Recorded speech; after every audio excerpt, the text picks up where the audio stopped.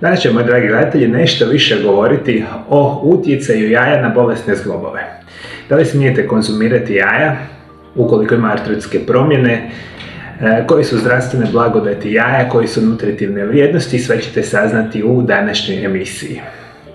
Ono što možemo reći, upale zglobova se najčešće događaju u koljenima, kukovima, ručnim zglobovima, ali i u malim zglobovima u tijelu, poput kralježnice. Najčešće napada zglobonu hrskavicu, sinobijalnu opnu, pa onda okodne ligamente i tetive. I e, ono što smo svi kako svjesni, u najvećem broju slučajeva osobe nakon 50. godine pa nadalje dobivaju razno razne artrotske promjene. A jaja su jedna od onih omiljenih namirnica koje veliki broj vas voli konzumirati, samo ne zna one pravilne informacije. Općenito govoreći, jaje je vrlo vrijedna namirnica koja je godinama bila nepravedno zapostavljena i proglašena nepoželjnom za čestu konzumaciju jer sadrže zasićene masnoće i kolesterol. Ali istina je potpuno suprotna, jer jaja sadrže dobre masnoće, a ostali sastojci jajeta su vrlo korisni za naše tijelo. Kokošija jaja su nepresušni izvor proteina, vitamina i minerala a njihova konzumacija donosi veliku korist našem organizmu. I to je zapravo prava e, činjenica, današnja jaja i specijalno kada su iz organskog uzgoja su nevjerojatno zdrava namirnica.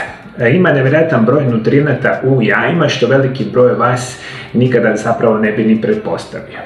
Kokošje jaja ima samo 75 kalorija, ali u njih je uvršteno čak 7 grana bjelančevina visoke kvalitete.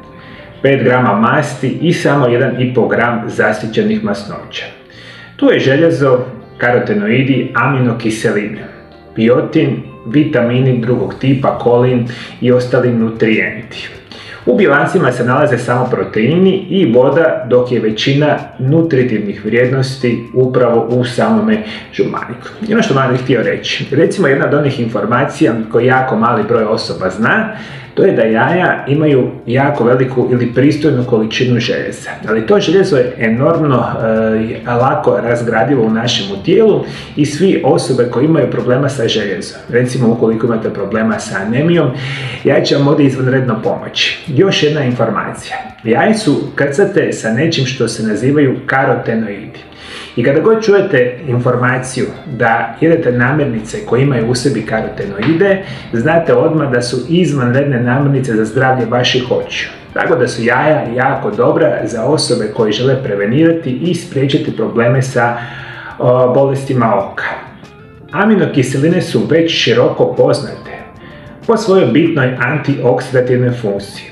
Što u stvari znači da jaje ima sposobnost čišćenja organizma od slobodnih radikala, koja nisu primarno štetni za organizam, sve dok su u ograničenim koncentracijama. A s obzirom na to da su slobodni radikali vrlo reaktivne tjelesne molekule, njihov višak može oštetiti stanične strukture i samim time stvoriti štetu i smrt samih stanica. I veliki broj puta ste čuli da postoji nešto što se nazivaju slobodni radikali.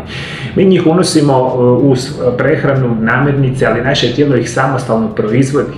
Kako mi uh, starimo i puno drugih situacija uzrokuje pojavu slobodnih radikala. Kao i uvijek tražimo namirnice koje rade protiv nastanka ovih slobodnih radikala jer na tim način sprečavate veliki broj bolesti oboljenja. I bolesti srca, bolesti bubrega, bolesti jetre i vama upravo jaja ovdje rade. Jer imaju antioksidativnu sposobnost i umjereno konzumacija e, ovih namirnica može i tekako pomoći. vodite isto tako računa, biotin još jedan od povoljnih sastojaka kokošijeg jajeta. Riječ je o vitaminu koji sudjeluje u metabolizmu, a poznat je po blagodatima koje nosi kosi, koži i noktima. Biotin je zaslužan za sjajnu kosu, pa mnoge maske za kosu imaju jaje kao jedan od njihovih sastojaka. Još jedan jako bitan nutrijent se nalazi u našim jajima. E, mi danas znamo da je preko 95, e, zapravo 90-95% osoba u kroničnom nedostatku vitamina D. Vitamin D i njegov primarni izvor sunce, danas nažalost jako mali broj osoba svakodnevno apsorbira.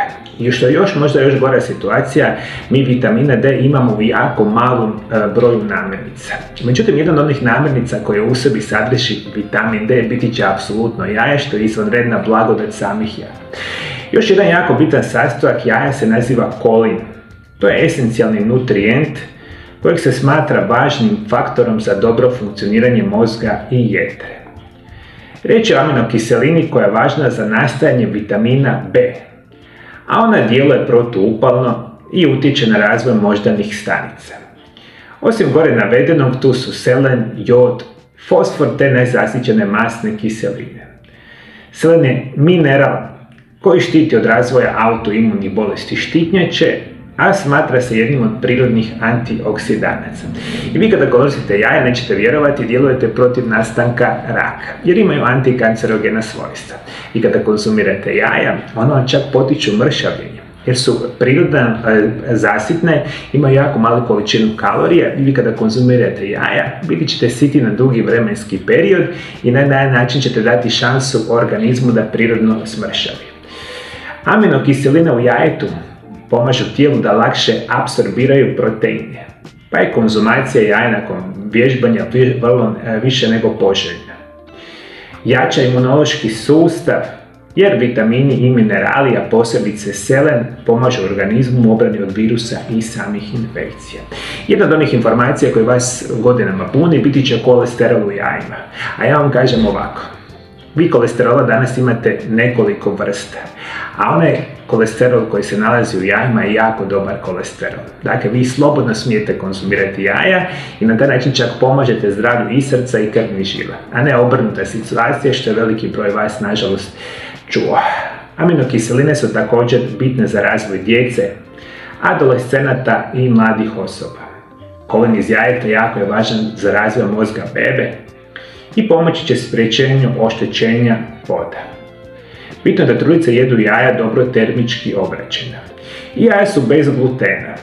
S obzirom na to da jaja ne sadrže gluten, to ih čini idealnom namirnicom za ljude ili osobe koji se moraju hraniti po posebnom režimu prehrane jer su osjetljivi na sami gluten. I par informacija vezano za sama jaja i za same zglobove. Sve ovo sigurno pomaže vašim bolnim zglobovima.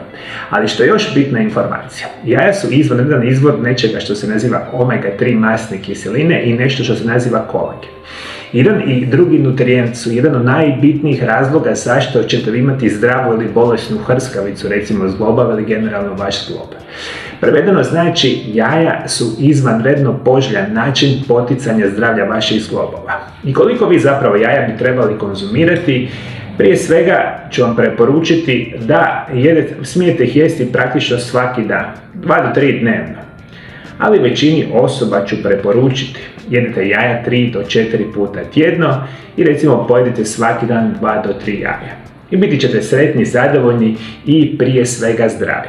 Još kada bi mogli naići na jaja koji su izvan rednog organskog uzgoja, jaja koje su hranjena travom, insektima, e, puštena vani, to je onda najbolji izvor jaja koje mi danas možemo konzumirati. Ako takva jaja imate i ako ih konzumirate, vaši stolovi će biti zdravi, e, generalno ćete podržati vaše zdravlje. Moji dragi gledatelji, da li ste vi primijetili kakvu zdravstvenu blagodat redovito konzumiranja jaja, pišite, komentirajte dolje ispod video zapisa. I vi imate veliki utjecaj na zdravlje osoba diljem svijeta. Ako podijelite ovaj video zapis sa svojim prijateljima, obitelji i pratiteljima preko društvenih mreža, Pomožete širenju informacije o prirodnom načinu liječenja i ovakve bitne informacije će doći u sve kutke naše planete Zemlje što će velikom broju osoba biti itekako od same koristi. I prije nego što nastavimo sa emisijom, moji dragi gledatelji, želim vam preporučiti moju novu knjigu koja se naziva Čudesni prirodni lijekovi, prvi dio. Je službeno u prodaji na hrvatskom i engleskom jeziku. Knjigu odmah možete kupiti putem web stranice Mario Lab HR. U knjizi ćete saznati više o bogatoj povijesti, korištenja biljaka u liječenju, naučit ćete kako uzgajati svoje ljekovite biljke, otkriti kako pravilno koristiti prirodne lijekove, uz savjete o doziranju, mogućim nuspojavama i interakcijama sa lijekovima. Čudesni prirodni lijekovi, prvi dio, idealan je vodič za korištenje prirodnih lijekova u borbi protiv najgorih bolesti modernoga čovjeka.